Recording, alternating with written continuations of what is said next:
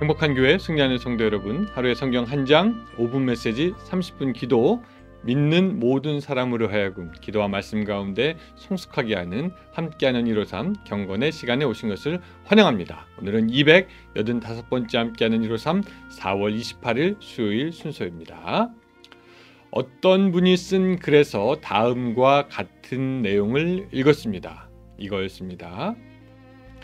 나는 여러 가지의 작은 기적을 경험한다. 아침에 왼쪽 다리를 침대 바닥에 내려놓을 때 고통이 느껴지지 않을 때에 그것은 작은 기적이다. 커피 한 잔을 마시기 위해 부엌으로 들어가면서도 고통을 느끼지 않는 것, 그 또한 작은 기적이다. 수영장으로 들어가 느긋하게 수영을 즐기는 것, 사실상 커다란 기적이다. 한동안 그 어떤 것도 가능하지 않았던 시기가 있었기 때문이다. 우리가 일상적으로 어, 생각 없이 하는 행위가 어떤 분들에게는 기적이라는 것이죠. 그런 면에서 보면은 우리가 지금 이렇게 살아가고 있는 것도 기적의 연속이고 하나님의 놀라운 은혜가 없다면 가능하지 않은 일입니다. 여러분, 이 하나님의 은혜를 오늘도 감사함으로 살아가는 하루가 되시기를 바랍니다. 찬양하겠습니다.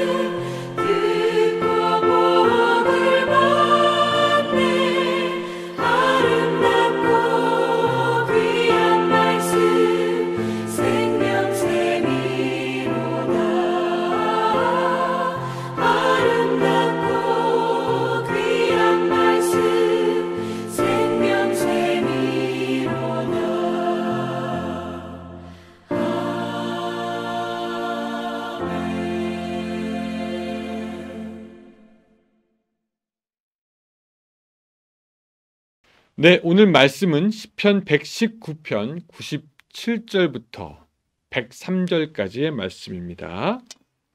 시편 119편 97절부터 103절까지의 말씀입니다. 자, 제가 읽고 여러분들은 집에서 같이 읽어 주시기 바랍니다.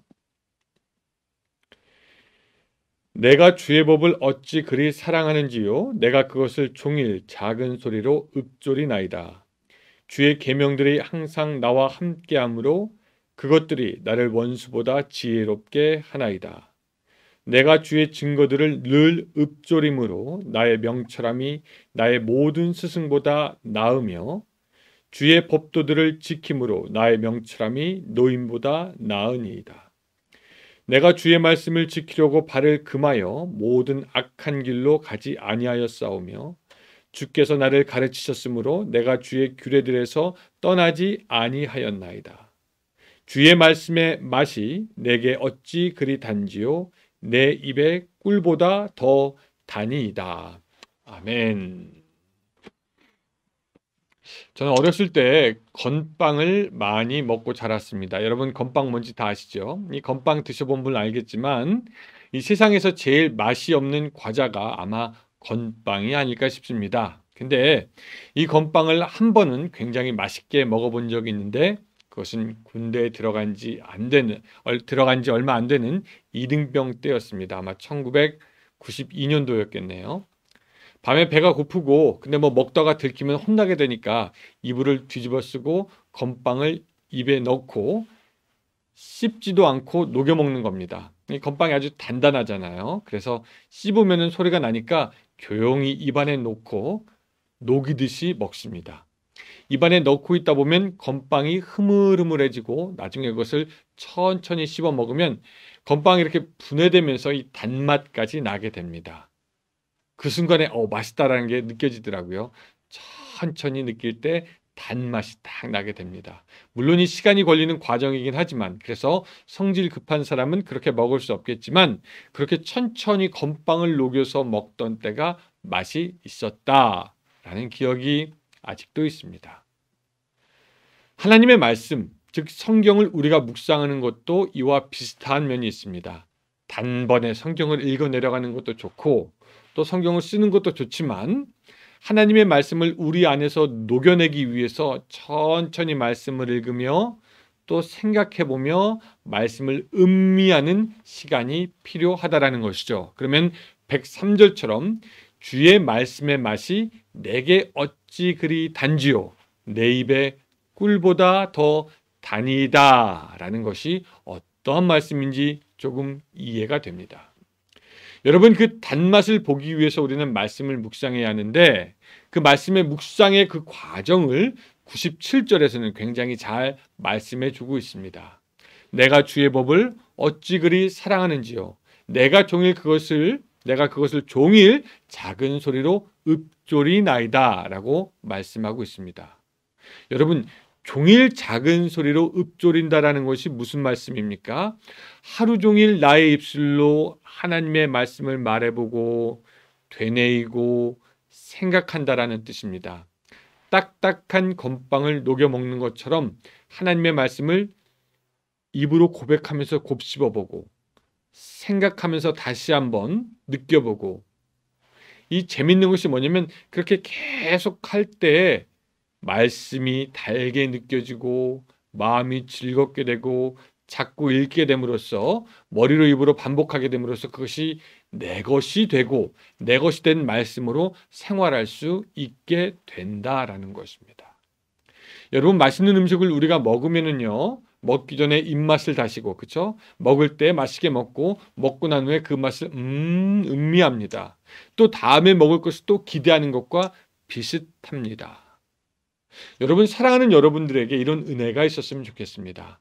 말씀을 읽고 머리에 되뇌이고 다시 생각하고 음미하고 이 말씀이 나에게 주는 은혜가 무엇인지 이 말씀 읽고 내가 어떻게 살아야 하는지 그렇게 지도받고 말씀으로 인해서 여러분들의 몸과 마음이 프레시하게 되는 그런 그런 경험이 여러분들에게도 있으시길 바랍니다.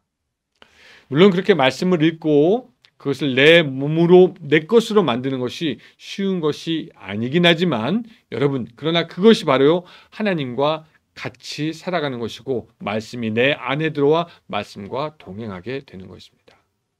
그래서 그냥 성경 한번 쭉 읽어 내려가는 것으로 끝낼 것이 아니라 읽은 내용 중에 이해가 되지 않거나 혹은 가슴 깊이 다가거나 혹은 힘이 되는 구절이 있다면 그 말씀 읽고 또 읽고 말씀을 읽으면서 생각나는 것 기록해 보시기 바랍니다.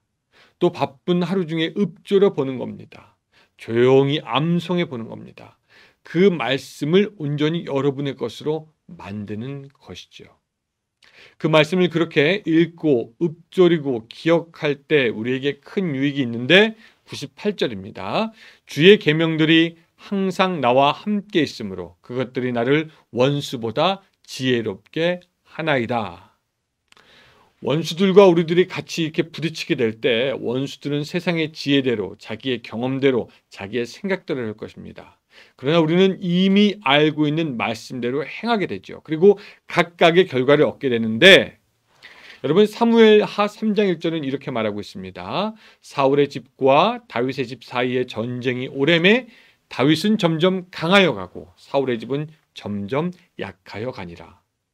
여기서 한 사람은 자기의 뜻대로 행했거니와 한 사람은 하나님의 말씀을 따라갔고 각각의 열매를 맺게 되었을 때 어떤 집은 약해지고 어떤 집은 강해지는 그러한 결과가 있었다라는 것입니다. 또 99절 이렇게 말씀하고 있습니다. 내가 주의 증거들을 늘 읊조림으로 나의 명철함이 나의 모든 스승보다 나으며 100절 주의 법도들을 지킴으로 나의 명철함이 노인보다 나으니이다. 우리가 인생의 갈림길에 서거나 무엇을 정하여야 할 때 아니면 지혜가 필요할 때 우리는 여러 가지 많은 소리를 이런 사람 저런 사람으로부터 듣게 됩니다. 뭐 저 역시도 무엇인가 오래전에 어, 무엇인가 결정해야 할 때 많은 사람들이 이렇게 해야 됩니다. 이렇게 해야 됩니다. 뭐 많이 듣고 고민도 했습니다. 근데 사람들마다 하는 말이 다 틀리고 도무지 도무지 무엇을 하는 것이 좋을지 모를 때가 있었는데 근데 한 가지 제 마음속에 아 이거 하나님께서 원하시는 것은 바로 이것이고 이것이 성경적인 것이다라는 생각이 들었습니다. 그래서 저의 계획을 사람들한테 이야기하였는데 사람들은 별로 안 좋은 보는 반응을 보였던 것 같습니다. 이러면 안 돼요. 저러면 안 돼요. 근데 저는 그때 이 말씀을 붙들고 버텼던 기억이 납니다. 내가 주의 말씀 안에 있는 한 말씀의 인도를 받는 한 말씀을 지키는 한 나의 명철은 다른 사람보다 뛰어날 것이고 왜 내가 내 길을 지도하는 것이 아니라 하나님이 나의 길을 지도하시기 때문에 여러분들의 명철과 지혜와 깨닫는 것이 다른 모든 사람과 원수보다 훨씬 뛰어나게 되시기를 바랍니다. 하나님의 말씀으로 그것이 가능한 것이죠. 사랑하는 성도 여러분, 하나님은 언제나 옳습니다. 그렇기 때문에 하나님의 말씀도 언제나 옳습니다. 더욱이 이 말씀은 변하지 않고 바뀌지 않는 시대를 초월한 진리요, 우리를 살게 하는 말씀입니다. 그러므로 여러분 말씀에 열심을 내시기 바랍니다. 다른 어떤 것 중요한 것 우리가 해야 되는 것 우리가 즐겨야 하는 건 많이 있지만 말씀에 열심을 내시기 바랍니다. 그리고 그 말씀대로 살아감으로 원수보다 뛰어나고 스승보다 뛰어나고 지혜보다 뛰어 스승보다 뛰어나고 노인보다 뛰어나고 그래서 예수 그리스도와 함께 승리하는 삶을 살아가는 여러분들이 되시기를 주님의 이름으로 축원합니다. 기도하겠습니다. 하나님 우리에게 말씀을 주심을 감사합니다. 그러나 그 말씀 우리가 한 번 읽는 것으로만 한 번 듣는 것으로만 끝내지 않도록 도와주시고 계속 삶 가운데 우리가 그 말씀을 읊조릴 수 있도록 주여 도와주시오며 그 말씀 붙들고 살아갈 때 우리의 능력과 힘이 있도록 주여 도와주시옵소서. 주님의 말씀을 의지하고 신뢰함으로 우리의 명철이 노인과 스승보다 뛰어나게 하시고 세상의 모든 사람보다 우월하게 하시고 그 말씀으로 승리하는 오늘 하루 될 수 있도록 도와주시옵소서 예수님의 이름으로 기도드리옵나이다. 아멘. 예, 감사합니다, 여러분. 오늘 153 또 이제 묵상과 기도로 채워가시기 바랍니다. 저는 또 어, 내일 뵙겠습니다. 감사합니다.